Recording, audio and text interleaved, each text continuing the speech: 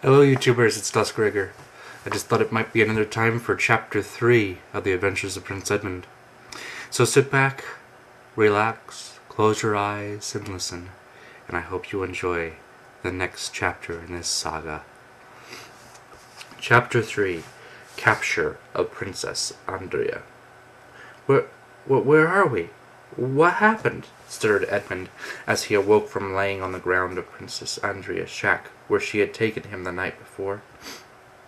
You blacked out when the amulet was taking us to Xavria. Oh, now I remember. You, you're Princess Andrea, and you asked me to come to your country to save it from the witch. Am I right? Yes, but please get up now. There is much that I must discuss with you before the witch has time to find where I have hidden, and she must not know that you are with me, or she will kill you on the spot. Edmund got up from lying down, and the princess gave him a bite to eat. After he had eaten, she started to get out of, out a guess. Ah, blah, blah, blah. After they had eaten, she started to get out a chest. She opened it and dug through it for a while until she found a small uniform. She took it out and handed it to Edmund. Here, put this on. For if you wore those clothes, you would certainly be noticed, and you would direct too much attention to yourself. With that, she went outside so that Edmund could have some privacy to change into the uniform. The uniform was a dark silver with a light chain armor that would protect him in battle. There was also a helmet that came with it, but he did not put it on because he did not think he would need it right away. So then he folded his clothes and set the helmet on top. He then opened the door to call the princess to tell him that he was finished dressing. She came back in and gave him the amulet. Here, when you're in need or need help, just take the amulet and say, Amulet, from the Wizard of Zandabar, please. Then say whatever it is that you need, and it will give it to you.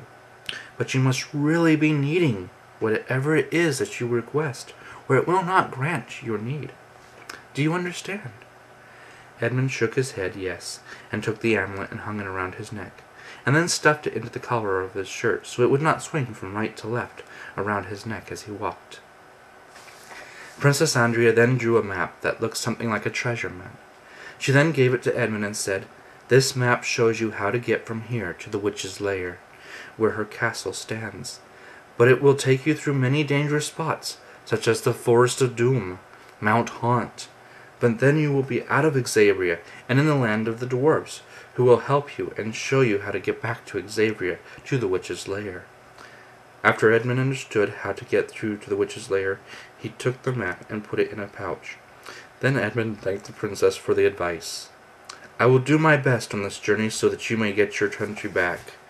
Thank you. I believe that you will be triumphant in your quest, and I hope you do not come to be snared into any danger that lurks ahead of you. Just then, the sky turned black, and there was a bolt of lightning. Hide quickly, the witch is coming, cried Andrea, as loud as she could over the howl of the wind. Evan did not understand quite what she said, but he got, in, he got his helmet and his clothing and hid in the chest, since it seemed to be a good place, hidden in a corner. So, I have finally found you! Ha ha ha ha ha! You shall pay for running away, thinking that you could escape my wrath! It was the voice of the witch, Edmund thought to himself. What a dreadful, terrifying voice! Just the voice of the witch is enough to make a person give himself up right away. But this time, I'm not going to run away. I'm going to stay and fight like a man. Just then there was a scream, and then silence. After a while, Edmund decided to get out of the chest and have a look around. He opened the lid and to his surprise there was nothing anywhere near where he was. Not even the small shack that used to be around him. Everything had burned to the ground instantly. Even the field of poppy had been burned to a crisp. Realizing the strength of the witch and her power, he decided to be more careful about going on the rest of his journey. With that, he stretched his legs and began his long, adventuresome journey. The end to chapter 3. Hopefully this isn't too bad of a disappointment. May I always remind you This is the story of a 13 year old, 14 year old mind from a long time ago. So, anyway, thought I'd just go ahead and get this out there. Hope you enjoy it, and we'll talk to you all soon. Bye.